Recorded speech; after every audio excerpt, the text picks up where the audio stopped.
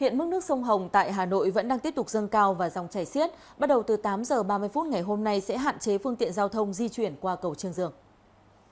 Cụ thể sẽ cấm các xe hợp đồng, xe khách, xe du lịch trên 9 chỗ ngồi và xe có tải trọng trên nửa tấn di chuyển qua cầu Trương Dương. Các xe này chỉ có thể đi qua cầu Thanh Trì, Nhật Tân, Vĩnh Tuy và Thăng Long.